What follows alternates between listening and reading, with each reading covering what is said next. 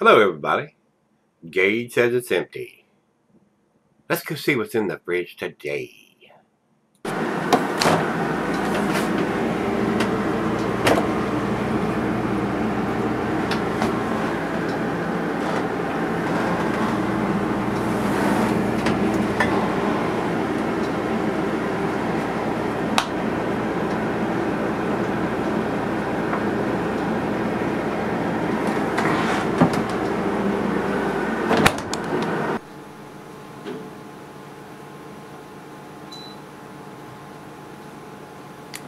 Hey everybody, welcome to Greg's Beer Reviews. Today, thanks a bunch for stopping by. I've missed you guys. It's, been a while uh, since I've done a bear review. Uh, we got a bear mile package from uh, Jeremiah from Hop Butcher for the World. Uh, it's like a big Christmas present uh, to me.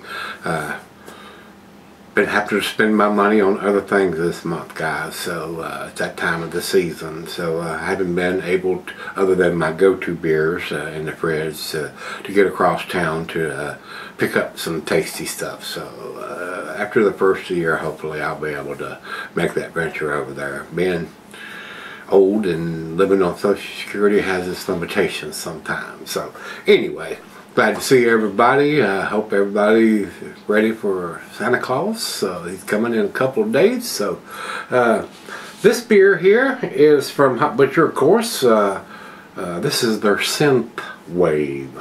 And it's a fairly low ABV beer. Uh, it's a six percenter here um, with New Zealand Cascade and Riwaka Hop and Phantasm American Pale Ale. Six percenter said it was put in the package on 11-2 of 2-1. Big 16 ounce plain Jane heat shrunk label on the can. Uh, very colorful artwork that uh, that uh, Dan does uh, for these guys. Uh, I mean, he's pretty talented fellow there, and uh, all the cans are rather colorful usually, and very eye-catching. I know I would of course, y'all know this from the Hop Butcher beers I reviewed already.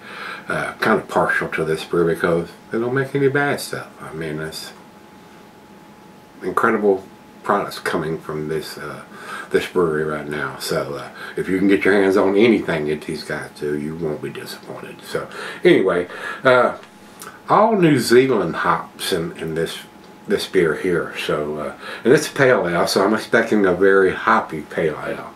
So let's uh, uh, jump over. It's right below my go-to range, starting at 7%, but uh, if it's a damn tasty beer, I, I would probably bend that rule uh, to get a very nice, pleasant beer, especially a New England style beer uh, uh, around here. So, the commercial description is the same thing that's written on the front of the can here on Untappd. no IBUs are given. these guys are up in the uh, uh, Illinois area, so uh, don't know how far out they go, guys. I really don't have that information. I wish they'd come out this far. I mean, I know I'd be buying them. But anyway, it's a Plain James can with the heat shrunk label on it. We've got the ABV, we've got the canned on date. Let's see what this pale ale is all about here, guys. So once again, thanks to Jeremiah. I do appreciate it, sir. It was a very nice, like I said earlier, Christmas present, early Christmas present from you guys to me. It's always like a Christmas present when I get a package from Jeremiah. Alright, very cloudy, very hazy. And uh, something on my glass. About two fingers of head on that pour. It's very cloudy, very hazy, guys. I can see a little tiny bit of light through here, so close enough that a lot of breweries would consider that a New England style in appearance anyway.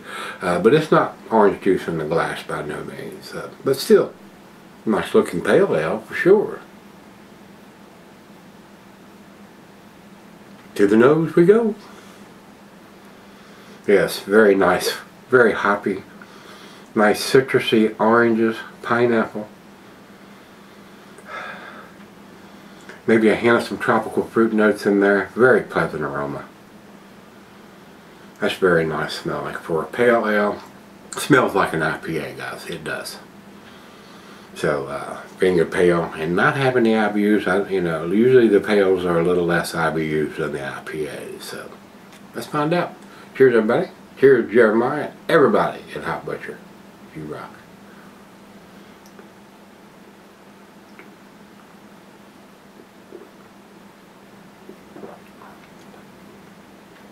That's pleasant. That's that's a really really tasty beer, guys.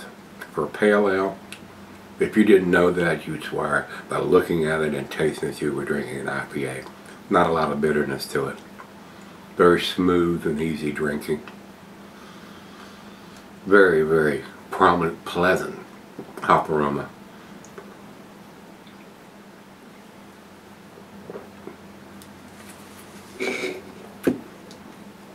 Hint of some spicy notes in there. Uh,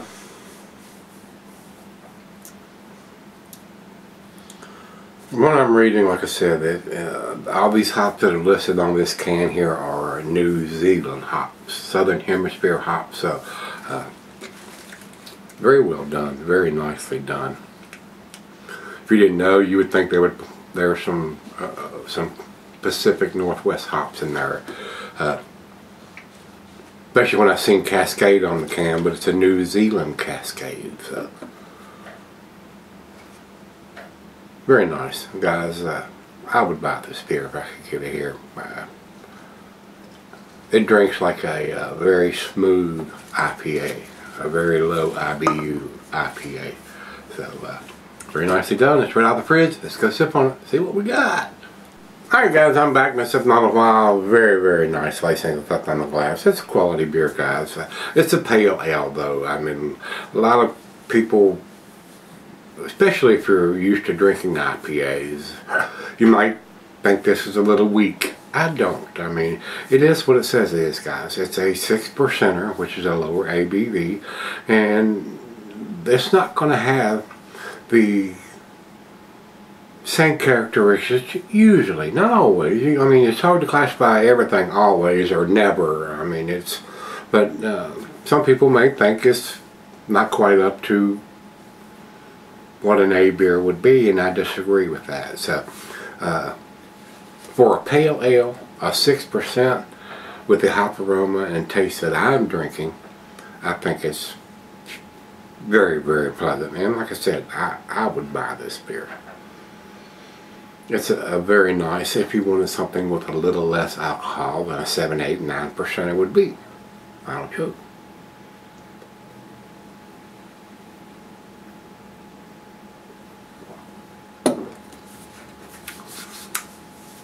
I think it's very nicely done.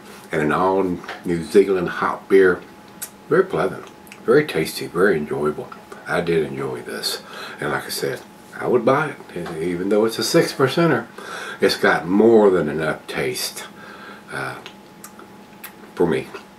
So, 90 for me, guys. A minus. Uh, and it's evidently a new release because Beer Advocate didn't have a grade on it. Uh, people have commented on it. Imagine that.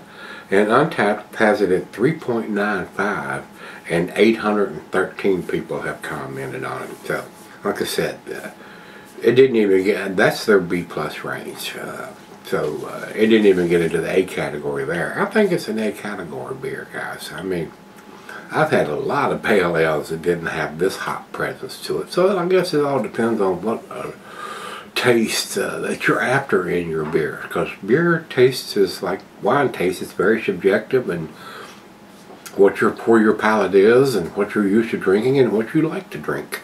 So with that being said, uh, I enjoyed it. So if you see it and, and you'd like a hoppy pale ale, this fits the bill. There's no doubt about it. So this is Synth Wave, S-Y-N-T-H-W-A-V-E